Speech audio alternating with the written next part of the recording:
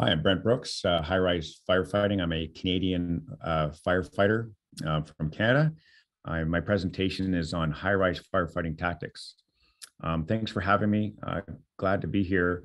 And uh, I'll put my contact at the end of this presentation. And if you have any questions, please feel free to give me a call. Uh, that's my bio here. I'm an international speaker and hands-on instructor. I teach uh, high-rise tactics, and most importantly, I teach large diameter hose movements. I'm a captain with the Toronto Fire Service. I've been a firefighter now for 28 years. I started at Pearson International Airport, Bombardier Aerospace, and I'm assigned to Toronto's high-rise unit. Uh, I do all the R&D operations. Uh, I share information with countries all over the world, departments all over the world. Um, I am part of the Council of Tall Buildings. It's based out of Chicago, but they have chapters in all the major cities. Um, the Council of Tall Buildings has been fantastic for me uh, when I have been developing my high rise tactics because I'm working with the building designers and architects um, to actually help me uh, come up with strategies and ideas for fighting high rise buildings. All buildings are different. Um, I also attend the HROC high rise firefighting conference in the US where I'm a hands-on instructor. And I used to be a, I'm a retired member of the Canadian Armed Forces. Let's get started. Uh, that's what my truck looks like there. We have two in the city. They are dedicated um, high-rise response trucks. Uh, all the equipment that can't fit on a normal fire truck is actually found on on this apparatus. We have two of them. We split the city. If uh, one high-rise unit's at a uh, call, then the other high-rise unit will actually um, take over the entire city. Um, our secret, or, or, not really a secret, it's kind of um, uh, well-known knowledge now, is big water. I like Paul Combs' um, art uh, uh, artwork here. Um, although it's it looks humorous, it it always tends to tell the truth. Uh, this firefighter here says, do you mean uh, big size does matter? And it does matter. We are using big water um, in our department. It gives us a faster knockdown of the fire. It gives us a faster primary search. Ventilation has become um, way easier and it's less heat and stress on our firefighters simply by using uh, bigger water. And I'm gonna explain how we use uh, big water when we use big water and where we were and where we are now, uh, this is a, a, picture from Paul Grimwood's book out of the UK. And we were using that red um, backpack there. You see with the yellow hose on the left, that was only putting out 500 liters per minute. Putting out 500 liters per minute will really only really let us fight a fire that's in one room residential. Well, we know once it spreads beyond that room, flowing 500 liters per minute, we are truly um, into quite the firefight. Anything above that, um, we're in big trouble. So we had to kind of um, look at different hose and nozzle packages. We did, if you look at those three lengths of blue hose, they're 65 millimeter hose with a one and one eighth tip. We're now capable of fl flowing a thousand liters per minute. That's 264 gallons per minute um, that thousand liters per minute allows us to fight those big fires. Um, what we like about this hose and nozzle package and having the 65 millimeter hose is we can actually double the output put simply by changing what's on the tip. Um, before we were going in with a small, a smaller size hose, not being able to put out the fire, having to restretch bigger lines um, to try and put that fire out. Now we go in with the bigger lines. If we can't put the fire out, we simply replace what's on the tip and we've been really successful. So I'm happy to say we can put out 2000 liters per minute um, on our fires. Here's a video of what I like to call the punch. It's putting 1,003 liters per minute. That nozzle is rated for 350 kPa. But just watch what happens here. This fire actually goes out um, in less than six seconds. Also notice the smoke. It's actually a, a steam. I'll just let the video play here. So this firefighter, there it is. It flashes over. He's tagging the ceiling, tagging the back wall, and then this fire is done. That was a fully involved um, unit. When we took this video, our fire investigators um, believed that that smoothbore 100 foot reach of stream would actually wreck all the all the evidence as far as trying to um, investigate the fire was funny enough, and you can see in that video, that nozzle hits the ceiling, some circular motions, it hits the back wall, but that candle that started the fire actually didn't even fall over. And that fire was quickly extinguished within that six seconds. What I'm also going to talk about today, I want to talk about the Bresnan distributor, the floor below nozzle, the 38 millimeter, an opposing tip nozzle, portable ground monitor, exterior tack, and our CAF systems for catastrophic failures. Uh, a lot of information here. Um, feel free to reach out and I can explain a little bit better. Here are some of our options for wind impacted water. Um, when we talk about um, high rise firefighting and firefighters can't make the push down the hallway, making a push down the hallway means we're we're advancing our hose lines. We're trying to get to that fire unit door. We're trying to uh, uh, put out the fire, but we're being driven back by heat. When this happens, we need to start hitting it uh, and using different options from the outside. So if you look at the video here, you'll see we have a couple Bresnan distributors flowing. We have our floor below nozzle. We have our um, opposing tip nozzle, and we're getting 120 feet coverage on this building. So these are multiple different tactics. We probably wouldn't have them all going at once, to be honest, but this would allow that initial crew making the push down the hallway. It allow them to get inside that fire unit for the final extinguishment once we knock it down from the exterior. Uh, when we do do special tactics, um, the advantage of bringing up that 65 millimeter hose is we simply replace what's on the tip. So in this picture here, we call this the Bresnan attack. Uh, each firefighter is going to be responsible for their length. We're going up with three firefighters. And to do this special attack, we simply replace what's on the tip. And in this case, it'll be the Bresnan distributor. When we do the when we use the Bresnan distributor, we're actually going two floors above the fire. Um, we don't have time in this presentation to talk about um, how to do that um, um safely, but I can tell you if it's wind impacted and you have to do the Bresnan attack, you are on the same side as the fire. The same wind that is impacting that fire is the same wind that's protecting you from two floors below on the same side. That's a topic for another day. When we do special tactics, and you'll see uh, on the right there, it says fire tack standpipe riser. That riser is is something we're not going to touch. We're going to allow that first in crew to use that riser. We're going to allow a next in crew with a backup line to use that riser. But for special tactics, we're not going to take from that riser. We're going to the opposite side. We go two floors above on the Bresnan attack um, because we don't want that hose to melt off uh, and burn up when we first put it out the window. So we're going to put out the window five feet. We're going to get it going and uh, we're going to allow uh, drop that nozzle down onto target. Here is a, uh, a real fire that we had, and you can see down below, we tried to flank attack it. Our aerials couldn't reach it. Um, we ended up going right to the roof, dropping this Bresnan distributor off, lowering it onto target. You can see the blue and white flames in both pictures. Um, that fire was acting as a chimney as it came up the outside of the building. No big deal. We uh, had a one on one tip at the top and we are able to put this fire out quickly. If you're thinking in your head, would this tactic have worked at uh, in England? Absolutely not. The heat release rate from that fire um, would the this attack would definitely not have worked. Um, here's us. Uh, this was uh, at HROC. It's a high-rise firefighting conference in Pensacola Beach, Florida. But that's what it looks like. I'm flowing the Bresnan distributor. I'm two floors above the um, um, fire floor, and there's that Bresnan distributor spinning. If you look at the video in the center, that's the Bresnan distributor, what it looks like, like from the outside. It's fantastic because not only is that wind pushing that water into the unit, it's also cascading down the outside of the building. It's giving me 60 feet of coverage. If I want more coverage, like a larger balcony or larger windows, um, I can simply add a second Bresnan distributor. And the video on the right that's now playing, um, that just goes to show you, even on a deep balcony, we're getting water uh, on the fire. We also carry a three nozzle pack. Um, it comes with a floor below nozzle, a 38 millimeter Bresnan, Bresnan, and our opposing tip. Again, our initial crews and all crews that go in our buildings are bringing the same hose every time. We're simply replacing what's on the tip. This helps uh, us get water on the fire um, faster.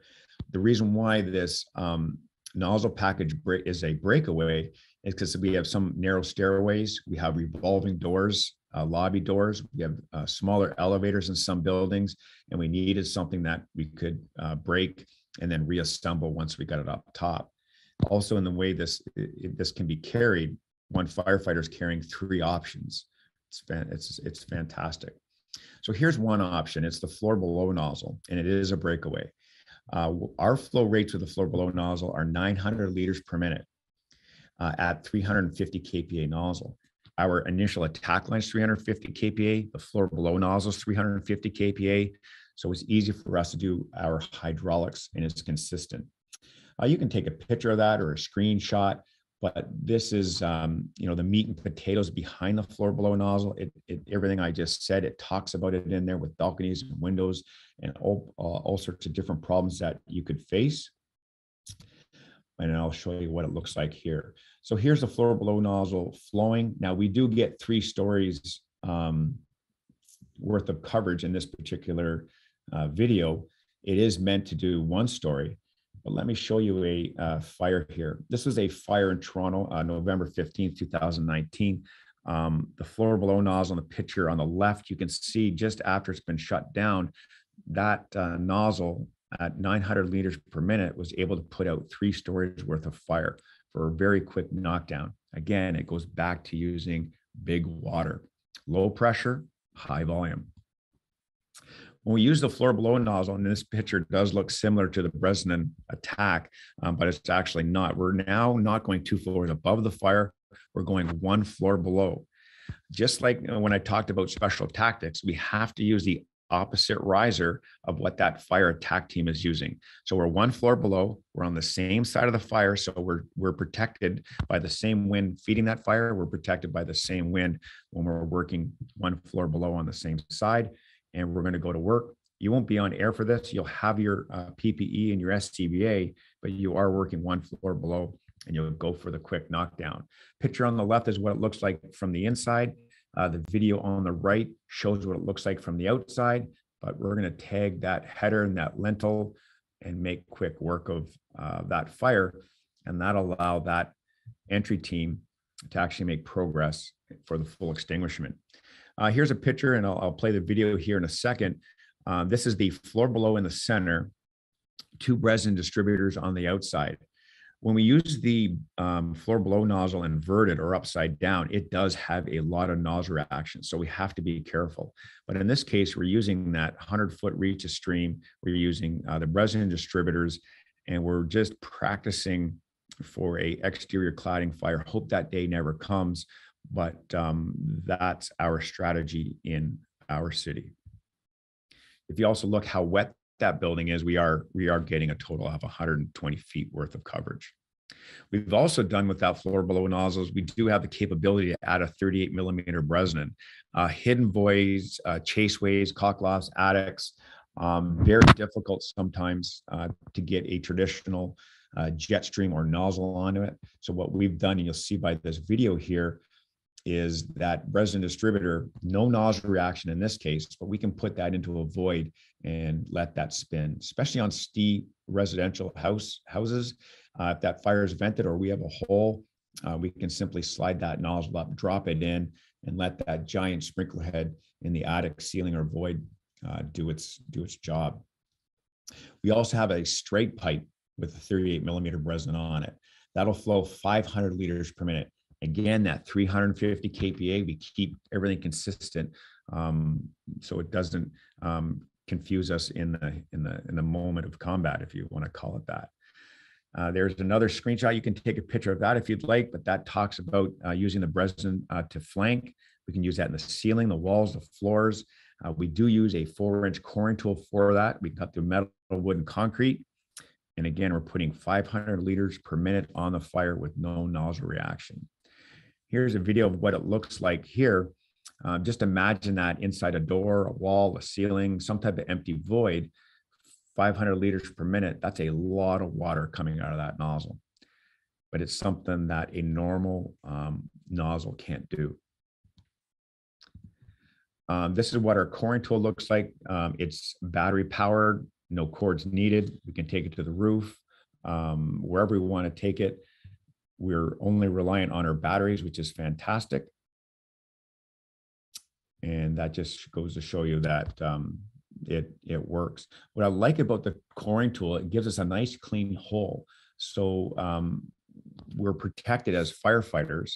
Um, we're actually reducing the amount of smoke that's going to come out of that hole. And now we can simply put that nozzle in and hopefully keep, uh, keep the area we're working in um, free from smoke and heat. This is the opposing uh, tip nozzle. Uh, some departments call it the cockloft nozzle. We don't like to um, call nozzles with a specific name to it because it kind of pigeonholes uh, us in our thinking that, hey, it's a cockloft nozzle. It can only be used for cocklofts. So we're calling it an opposing tip nozzle. So it can be used for cocklofts. It can be used for attics. It can be used for exterior cladding. It can be used for hidden voids. What I like about this nozzle, again, it works with our hose and nozzle package and it has 80 foot reach of stream off each side. So we have 160 foot reach of stream. This is a half inch tip. So it'll cut through cellulose insulation. It'll cut through the bats. And here's a picture of it in operation here.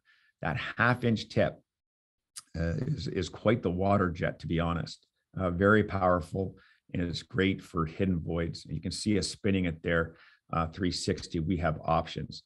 Uh, high-rise buildings, uh, sometimes that chaseway on the exterior uh, of the cladding where it meets the building, it'll be about two inches. So that half inch tip, uh, we can certainly get in those hidden voids and get uh, some water application. Here's some information again. Feel free to take a screenshot of that for your for your notes, but it works fantastic for balloon frame construction and joist spaces. Just imagine that in a 10 foot um, ceiling height of balloon frame construction in a 10 foot wall, but you're getting 160 feet of water uh, penetration. Um, it's absolutely fantastic. And in this video here, just watch um, when we when we describe this nozzle, it does have no nozzle reaction, but that half inch tip is hitting that uh, concrete. You can see no nozzle reaction, um, but it it it's it, it's it's it's absolutely fantastic. Uh, here's a couple uh, pictures that people have sent me. Uh, there's high-rise hose. There's your opposing tip nozzle. That's a storefront with residential uh, on top. And it was a, a, stubborn fire, a hidden fire, and they were able to get that opposing tip nozzle inside uh, for a quick knockdown. Uh, the video on the right, again, uh, looks like some floor joists and, and spaces, but uh, a traditional nozzle just can't get in, down, and across. This nozzle allows us as firefighters to get that 160 foot reach in that hidden void and, and put that fire out. Um, this is maybe a little bit off topic, but um, if you look in the picture, uh, this this um, still shows about talks about our reaction time. It talks about our um, re, uh, reducing that time by staging equipment. And if you look in the background, this is on the eighth floor. Uh, right behind that ladder is all our uh, nozzle packages. It's staged, it's ready to go. If that initial team can't make the push down the hallway, those special tactics and nozzles are only two floors below we simply gather that and put that plan um, into attack. We don't have to wait for crews to bring it from the fire truck. It's already pre-staged inside the building. Uh, this is another video here. Most uh, departments all around the world ask um, what type of reach of stream are we going to get um, from these special tactics. So in this case here, it's a seven-story building. Again, the 350 kPa, uh, 350 kPa nozzle uh, we can hit seven stories under normal operating pressure. So you see the video on the left there is playing. That firefighter is going to open the nozzle. Um, this firefighter has no nozzle reaction because he knows how to take nozzle reaction to ground. Effortlessly, he hits the seventh story header lintel, gets that water inside that apartment. That'll allow for a knockdown, and the crew in the hallway can now make the push uh, once they've knocked that fire down a bit. It's absolutely fantastic. If I add another 50 kPa, I'm getting to the eighth story.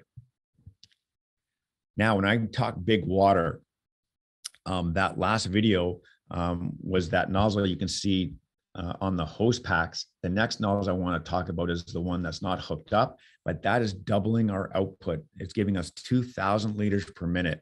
Uh, fantastic reach of stream. This is for commercial high-rise buildings, or nowadays some of our residential high-rise buildings are the size of um, commercial footplates. But this nozzle um, gives us that uh, 2,000 liters per minute uh, quick, quick knockdown and it's maneuverable. It's absolutely fantastic. And this particular nozzle will actually shut itself off um, if we lose the tip. We simply open and close it again and we're flowing.